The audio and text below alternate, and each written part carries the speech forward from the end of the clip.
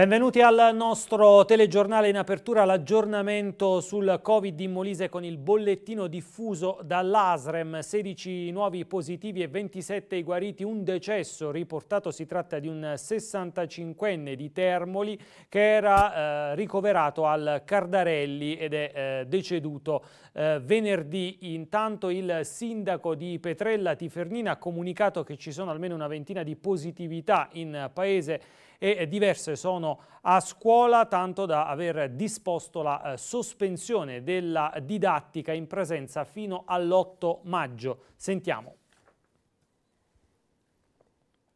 Sono 16 nuovi positivi in Molise su 337 tamponi refertati con tasso di positività al 4,7%, 27 i guariti. Il decesso riportato nell'ultimo bollettino dell'ASREM sul Covid risale a venerdì un 65enne di Termoli che era ricoverato in terapia intensiva all'ospedale di Campobasso. Sono 468 le vittime da inizio pandemia in Molise, 653 il numero degli attualmente positivi. In leggera risalita i ricoveri, tre in più nelle ultime ore, tutti in malattie infettive a Cardarelli, un trasferimento invece in rianimazione, nessun dimesso. Gli ospedalizzati nella nostra regione sono 56, al Cardarelli 42 sono nel reparto infettivi e sempre 10 in terapia intensiva, due i pazienti al Gemelli e altrettanti al Neuromed. Dei 16 nuovi positivi il numero più alto riguarda ancora Campobasso con 7 casi a fronte di 9 guarigioni, però nei restanti comuni interessati numeri inferiori, 2 e soprattutto un positivo.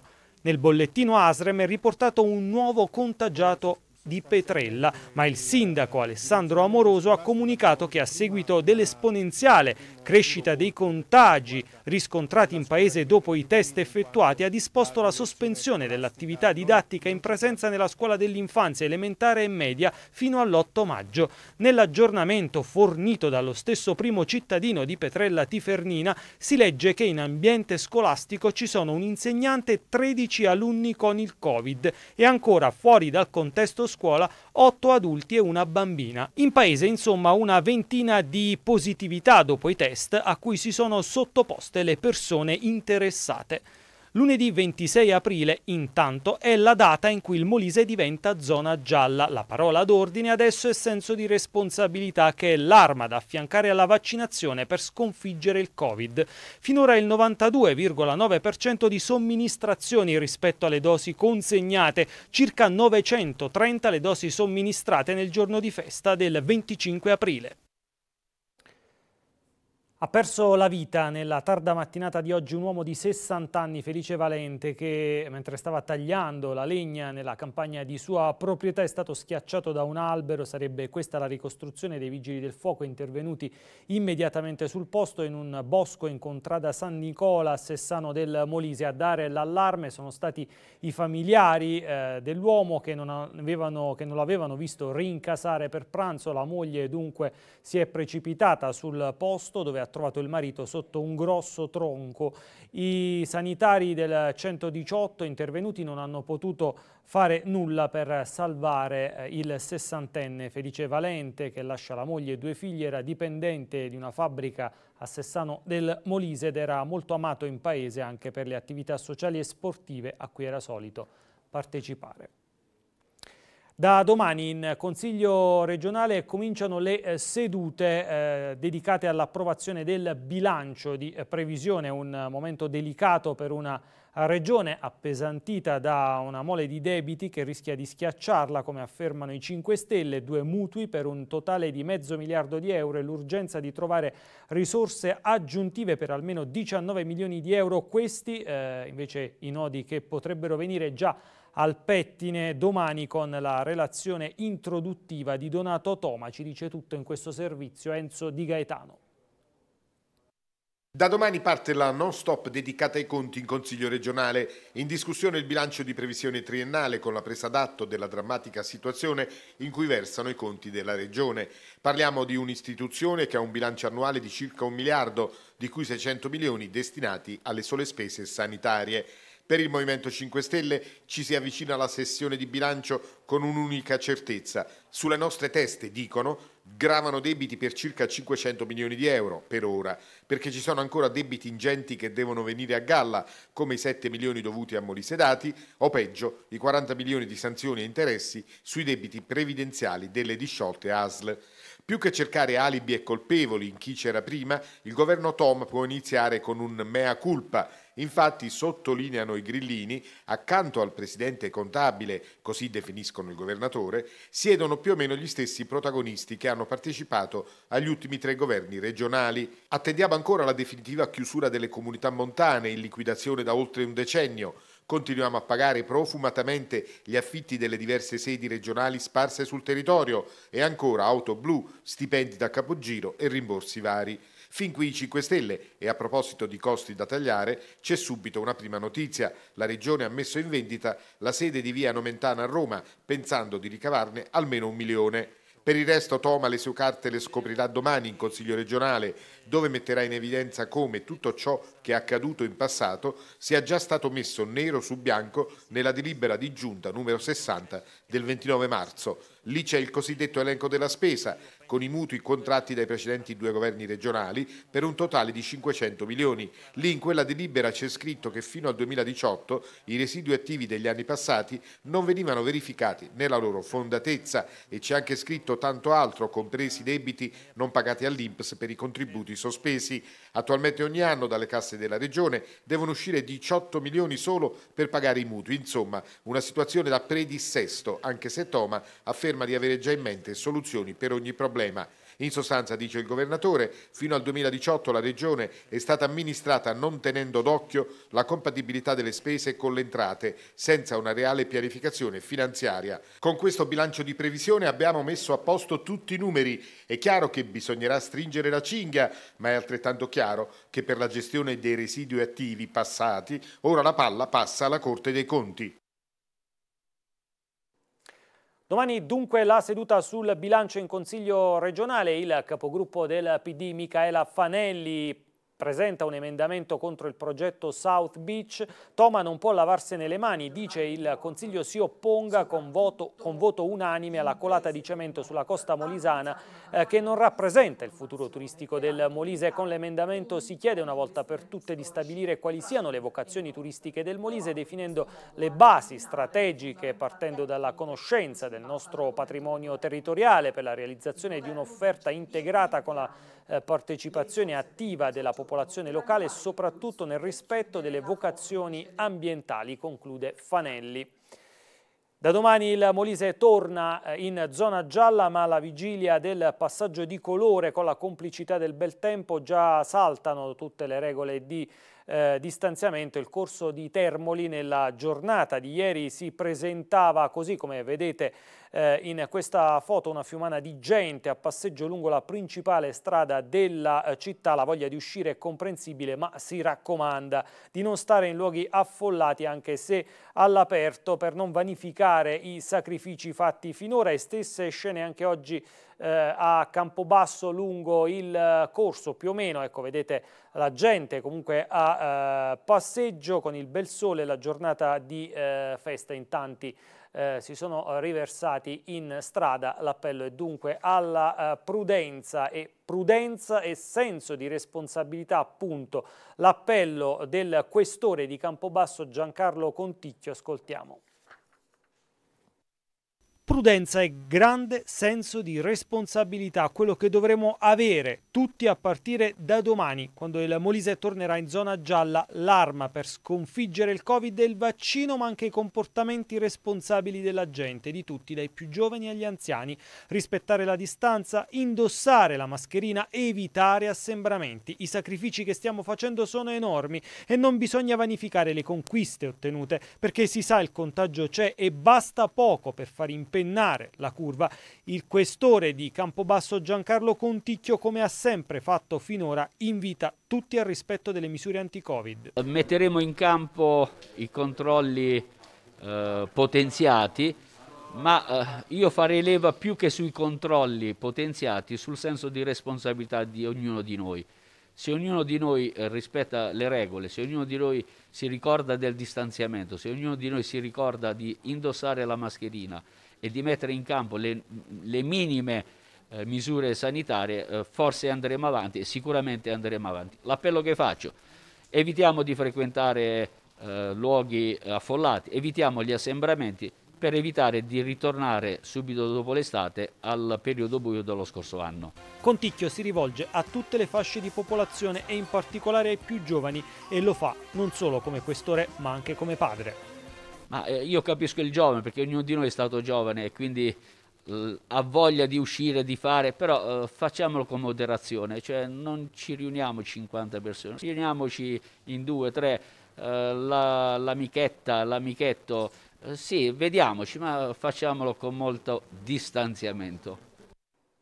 Oggi 25 aprile, festa della liberazione, iniziative istituzionali in tutta Italia in forma più sobria e ridotta a causa del eh, Covid, iniziative anche di eh, cittadini con ideali antifascisti come eh, quella eh, organizzata a Campobasso in via Martiri della Resistenza. Sentiamo.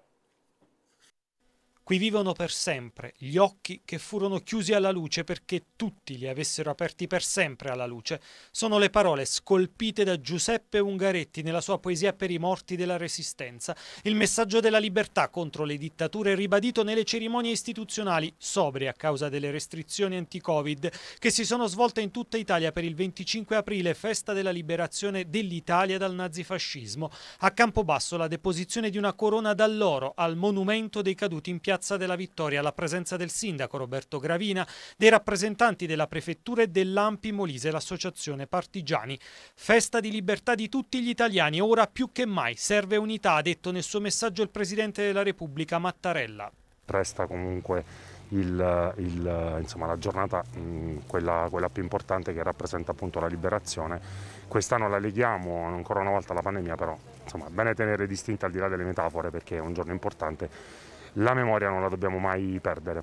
Ora è sempre resistenza, è sempre quello il messaggio, è il messaggio che i nostri partigiani portavano nel cuore, sulle spalle, messaggio con il quale hanno costruito, hanno contribuito a costruire e a fondare la nostra Repubblica. Oggi è un messaggio di vita, di sopravvivenza.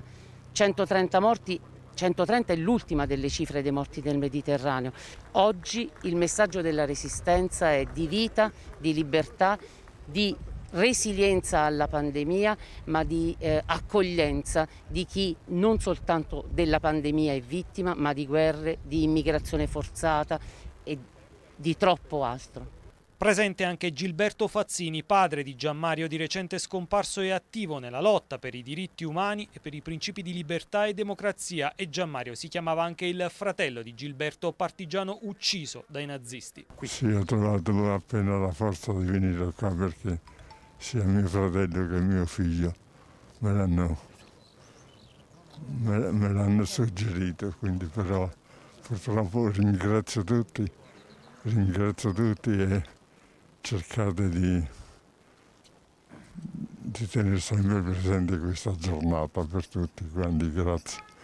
E nel ricordo di Gianmario Fazzini anche la manifestazione in via Martiri della Resistenza, iniziativa di diversi cittadini con ideali antifascisti a cui hanno aderito Malatesta Associati Casa del Popolo, Arci, Fermenti Liberi per celebrare la giornata della liberazione. Il messaggio è semplice, non dimenticare mai, sembra banale ma è quello, eh, non disinteressarsi mai alla politica, eh, non disinteressarsi mai al, alla, alla no, al nostro Stato, all'Italia che è stata costruita da persone eh, che, che hanno versato il sangue. Inaugurato il murale donato dall'artista Claudia Romagnoli, conosciuta come Croma agli abitanti del quartiere. Abbiamo deciso di rappresentare Giovanni Porfirio e Mary Nyman che facevano parte della banda partigiana di Trivento, una delle poche bande locali partigiane del Molise e abbiamo rappresentato anche la loro base operativa dal settembre 43 al gennaio 44 che è la Morgia di Pietrafenda dove appunto loro vivevano, si, si appostavano e, e diciamo, programmavano le loro, le loro azioni. Volevamo riprendere una storia locale eh, perché è, da, è, dal proprio territorio che bisogna ripartire per costruire una memoria collettiva eh, presente e futura, applicare la resistenza oggi e domani in tutte le azioni del nostro quotidiano. Momento di memoria collettiva con le letture e gli interventi tra gli altri di Flavio Brunetti e Fabrizio Nocera, docente Unimol. Collegamenti poi con associazioni ambientaliste e sociali a Monte Cilfone, Bosco Corundoli e con chi a Isernia è attivo per la difesa dell'ex lavatoio.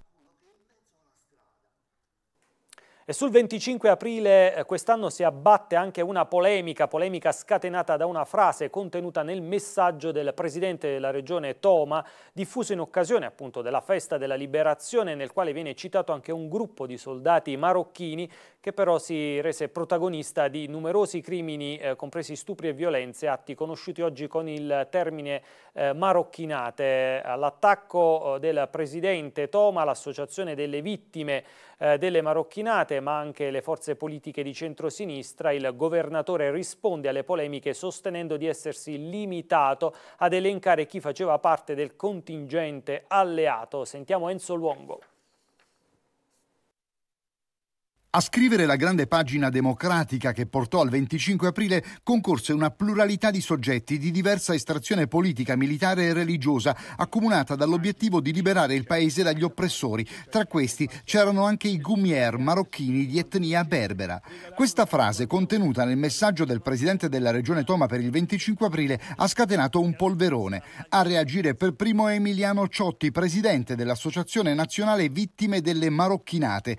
Il presidente Toma, protesta Ciotti, dimentica o non conosce i delitti commessi da questi soldati durante la campagna d'Italia.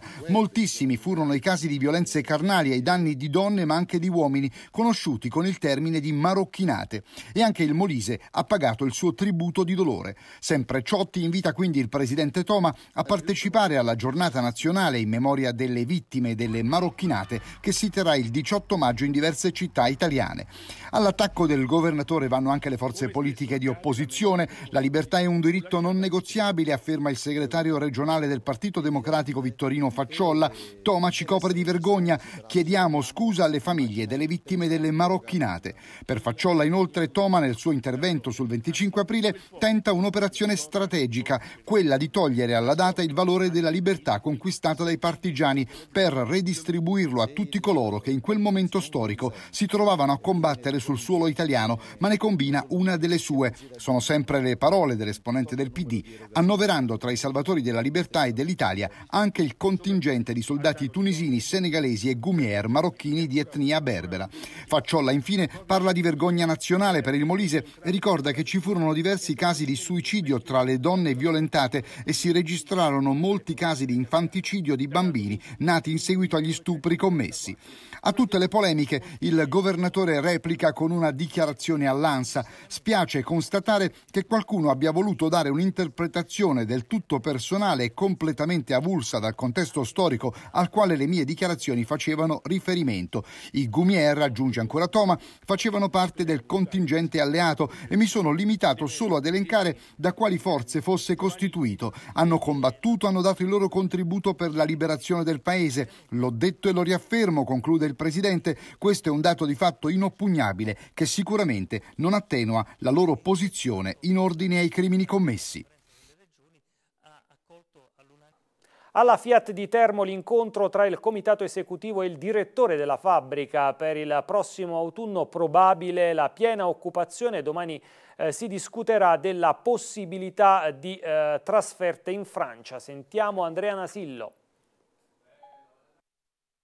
Dopo il vertice nazionale tra i sindacati e la dirigenza di Stellantis è confronto aperto all'interno della fabbrica FCA di Termoli. Nelle scorse ore si è riunito il comitato esecutivo alla presenza del direttore di stabilimento. Approfondito il delicato periodo che sta vivendo il sito di Pantano Basso, importante recuperare quanto prima la competitività nell'ambito anche dell'incertezza dei mercati con il periodo di cassa integrazione che comunque preoccupa l'indotto e i lavoratori soprattutto. I sindacati hanno chiesto attenzione massima sulla corretta gestione della rotazione del personale della fabbrica termolese. Dalla direzione le rassicurazioni che la piena occupazione potrebbe rientrare a partire dal prossimo autunno. Ci sarebbero le condizioni. Domani altro incontro e nell'occasione molto probabile la conferma delle riaperture del servizio mensa e degli spogliatoi e soprattutto si discuterà, notizia delle ultime ore, di una possibile trasferta dei lavoratori lavoratori in base ai numeri richiesti nelle fabbriche Stellantis in Francia. Sul fronte pandemia gli attuali positivi sono 4 e calano da 5 a 2 le quarantene precauzionali.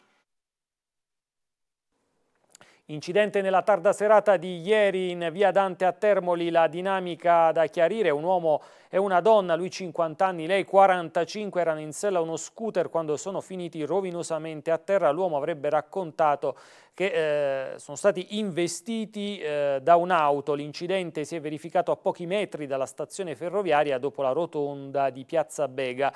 Eh, non sarebbero in pericolo di vita, anche se la donna, che sanguinava all'arrivo dei soccorritori, ha riportato diversi traumi sul posto 118 Misericordia e Carabinieri. Racconta una storia vera il libro Il mio Covid, scritto da Antonio Sinibaldi. L'autore ha messo nero su bianco la sua difficile esperienza con questa malattia. Il testo è disponibile su Amazon e nella cartolibreria Biferno a Boiano. Sentiamo Patrizia Testa che ha intervistato Antonio Sinibaldi. Oggi presentiamo il libro autobiografico di Antonio Sinibaldi. Il mio Covid è il titolo di questo progetto uscito a fine marzo e nato durante i 30 giorni in cui lui è risultato positivo a questa malattia. È una sorta di diario. L'autore molisano infatti racconta giorno per giorno questa difficile esperienza.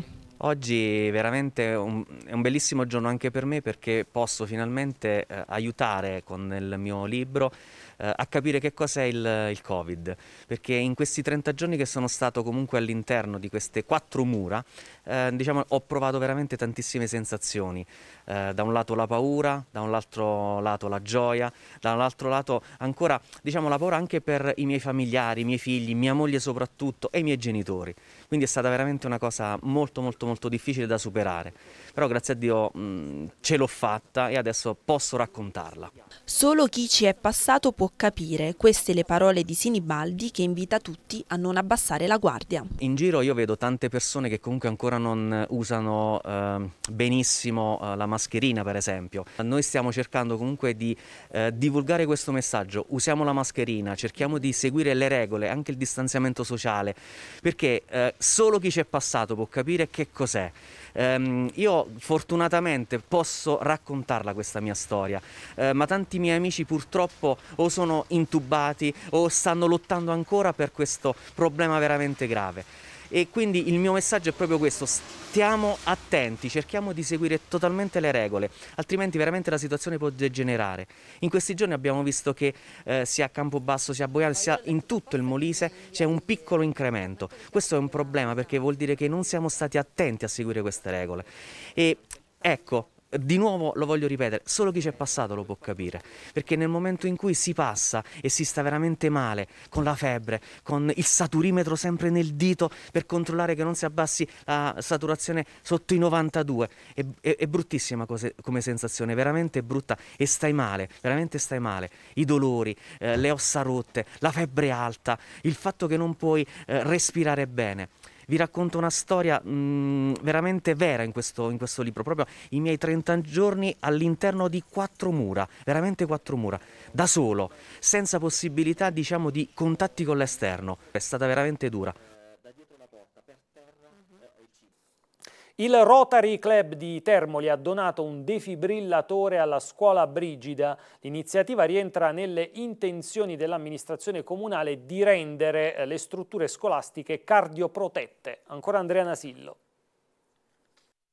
Il Rotary Club di Termoli dona un defibrillatore su indicazione dell'amministrazione comunale che sta cercando di coprire con la cardioprotezione l'intera rete scolastica cittadina. Una delegazione di soci guidata dal presidente Gerry Carutenuto ha offerto alla Brigida questo importante servizio. Obiettivo dell'iniziativa è permettere alla scuola di Via Luigi Sturzo di dotarsi di uno strumento salvavita sempre nella speranza di non doverlo mai usare. Riconoscenti il preside Francesco Francesco Paolo Marra, il personale e il presidente del Consiglio d'Istituto Anna Maria Perla. All'iniziativa di consegna anche l'assessore comunale all'istruzione Silvana Cicciola e il consigliere comunale Nico Balice. Un connubio quello tra la Brigida e il Rotary che lo scorso 4 febbraio si era già perfezionato con la donazione di due computer da utilizzare per la DAD. Evidenziata l'importanza della disponibilità di un defibrillatore in un ambiente come quello scolastico e non sono mancate le domande mai banali da parte dei ragazzi che hanno mostrato interesse e curiosità sulle modalità di funzionamento dell'apparecchio sanitario.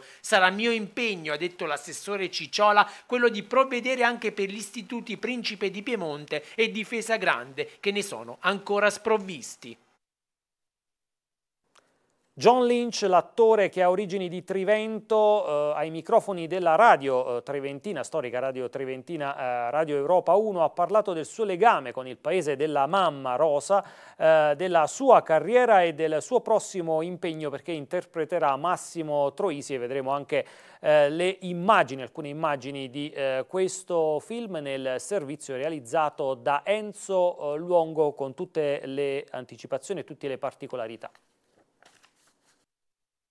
Non è la prima volta che mi capita un personaggio così complesso. Massimo era un'icona in Italia. Penso sia stata una buona idea decidere di non utilizzare un attore italiano perché ci sarebbero stati un sacco di problemi culturali, di gestualità, mentre una persona come me, mezzo italiano di origine cresciuto in Irlanda, può tirare fuori qualcosa di diverso, di intrigante. Così l'attore irlandese John Lynch, protagonista di decine di film di successo mondiale, racconta del film che ha girato lo scorso anno e che uscirà prossimamente, nel quale interpreta interpreta Massimo Troisi. Il film si intitola Da domani mi alzo tardi, è tratto dall'omonimo libro di Anna Pavignano e alla regia del nipote di Troisi, Stefano Veneruso, con le musiche inedite di Pino Daniele. Lynch, che è originario di Trivento, paese del quale è anche cittadino onorario e dove torna spesso, si è raccontato in un'intervista alla web radio del paese, Radio Europa 1.